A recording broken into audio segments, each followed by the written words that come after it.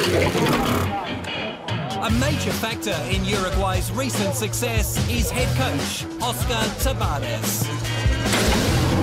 Nicknamed the teacher, Tabarez has been in charge for more than 100 matches over two spells, 16 years apart.